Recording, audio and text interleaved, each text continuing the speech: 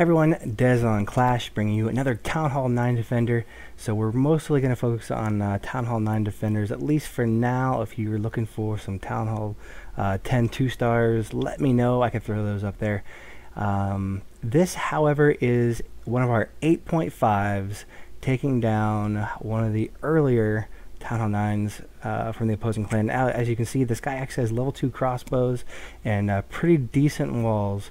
So uh, this is what a Town Hall 8.5 can do for you.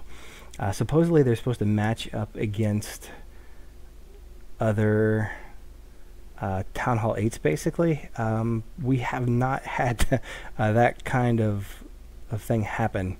So if you look at their war weights, um, they're definitely just slightly above max and there's too many rush Town Hall 9s.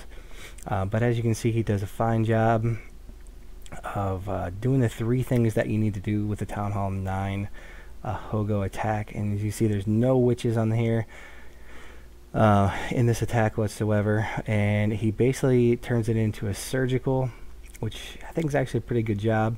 Uh, pretty smart move.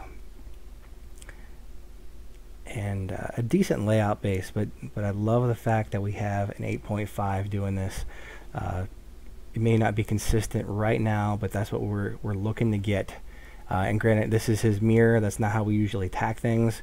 Uh, this just actually ended up happening. I did not plan uh, when we set up the strat uh, for Birdman to three-star this base. So uh, it is a very, very pleasant surprise. He's got some things to clean up. Uh, but welcome to YouTube, Birdman. Hopefully we get a lot more coming from you as because this is what you can really get out of your your 8.5s. So anyway, uh, Des from the Shadow Ravens clan here, taking you to the next level. Hit that like, comment, and subscribe button, and we'll see you with some more videos coming up soon.